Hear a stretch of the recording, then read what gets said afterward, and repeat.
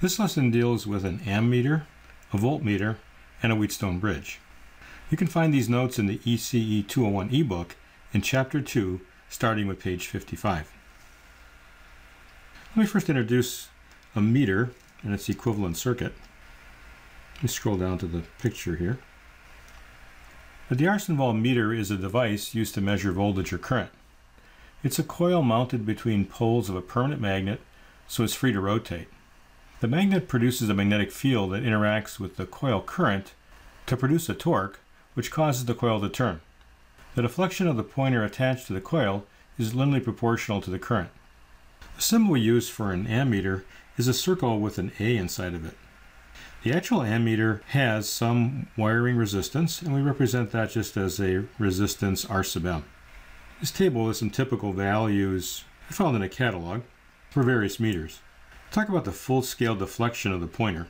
So if you had a 0 to 50 microamp deflection, you might have some resistance of that meter between 1K and 5K.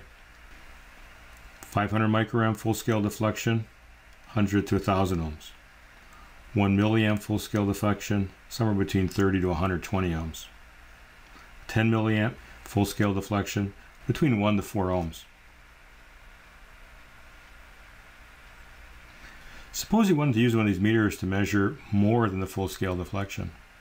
Well, we could use the idea of a current divider to let some of that current go into a parallel resistance and the remainder going into the meter. We could then calculate what our new full scale deflection would be. This parallel resistor is also called a shunt. Let's just do an example to see how this might work out. Let's take a 1 milliamp meter movement and suppose that the coil resistance is about 50 ohms. So let's pick a resistor that we'd put in parallel with that meter to get a full scale deflection, not of 1 milliamp, but 150 milliamps. Let's draw a schematic. This usually helps take a word problem and visualize it in, as terms of things we've been talking about in the course. So here's my meter with 50 ohms, and for a full scale deflection, I have 1 milliamp flowing through it. But I want to use this to measure a much larger current, say 150 milliamps. So when that comes in, it's going to current divide. And I want 149 milliamps to go here, 1 milliamp to go here, and then the rest goes back out again. So I got a current divider that the current in this resistance here is going to be the other resistance over the sum of the two times the current that's coming in and likewise going back out of 150 milliamps. Again, all that should be equal to the current in this resistance, which is 149 milliamps. So let's solve this for our shunt. Multiply these two, divide by the 149 milliamps, bring this on the other side of the equation, and then subtract the 50. I end up getting 335.6 milliohms. Now we can use the same meter to also make a voltmeter out of it. Here we're going to add a series resistance and basically create a voltage divider. This series resistance is usually called a multiplier. Take this meter from the last example and make a 10 volt full scale voltmeter.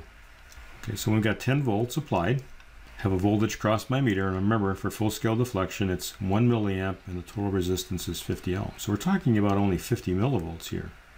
So if I have 10 volts here, I'm going to drop the difference across this resistor. Okay, let's use our voltage divider then. 50 millivolts is equal to 10 volts times 50 now, over 50 plus this R multiplier. Now let's solve for R multiplier. So multiply these two, divide by 50 milli, bring this over here, and subtract the 50 get 9.95 k ohms. We could use the same meter, which actually responds to current, to measure bigger currents and to measure voltages. This following example is what's called a Wheatstone bridge. It again uses one of these meter movements, but this time to measure resistance. Let me state the theorem or the property of the Wheatstone bridge, and then we'll proceed to show why it's true. I have four resistors call them R1, R2, R3, and R sub X. And I'll put a meter between this connection of R1, R3 and R2 and R sub X.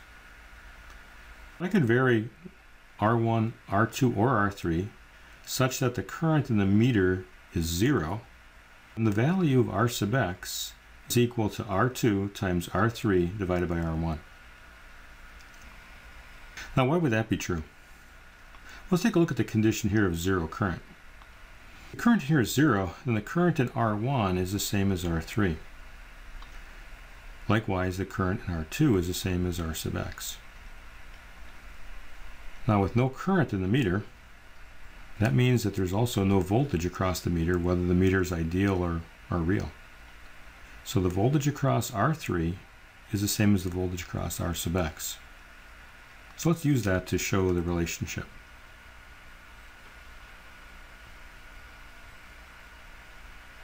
Because the current in R1 and R3 is the same, we could use the voltage divider.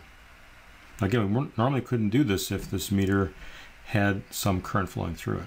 But since R1 and R3 have the same current, we can use the voltage divider rule. Same is true for R2 and R sub x. What's interesting here is V sub s drops out. Let's divide numerator and denominator by R3.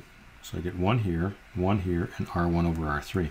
Likewise here, let's divide the numerator and denominator by R sub x. So I get 1, 1, and R2 over R sub x. If these two equations are equal, then this quantity has to equal this quantity. So I have R1 over R3 equaling R2 over R sub x. I'll just cross multiply here. So I've got R1 Rx equals R2 R3. I can solve for R sub x. The commercial Wheatstone bridge, the resistances R1, R2, R3 are series of resistances interconnected with switches. So as you turn the knobs of these switches, there's a number indicating value R sub x. A couple things to also mention here. If we were to make this into a device to measure resistance, the value of V sub s isn't critical. So we could have a battery pack, and that battery pack could be aging and maybe changing with time. This formula is hard to, to remember, but if you go back to the original bridge, this expression here, R1 times R sub x equaling R2 times R3, these were the values of the resistors that were across from each other. So we'll just kind of scroll back to this previous page. And so if you want to remember the Wheatstone bridge condition in the future, it's R1 times Rx equals R2 times R3. And again, this is only true when the current in the meter is zero. So the Wheatstone bridge can be used to measure an unknown resistance. It can also be used to measure other things, and we'll pursue this in other courses. This is how you can use a meter to measure current, measure voltage, or measure resistance.